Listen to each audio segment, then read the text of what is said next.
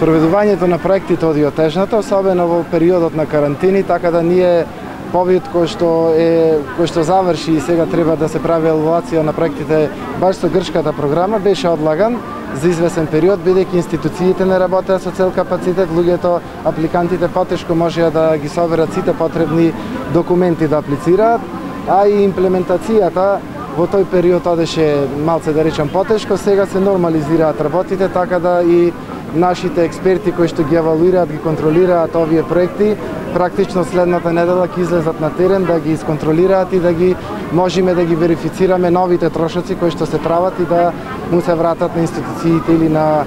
партиципиентите средствата назад.